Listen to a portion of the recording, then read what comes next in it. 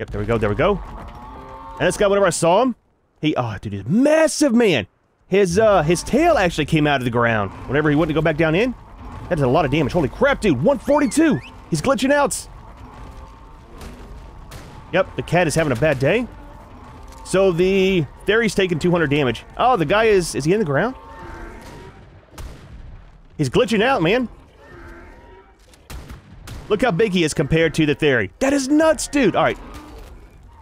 Yep, yep. Visual bug. That's kind of a problem. Just saying. Oh, that kind of sucks, man. It's a cool creature. It'd be nice to be able to see it while we're fighting it.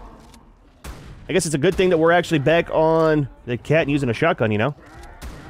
You're doing fine, Junior. It's a little bit of a scratch, man. You'll be okay.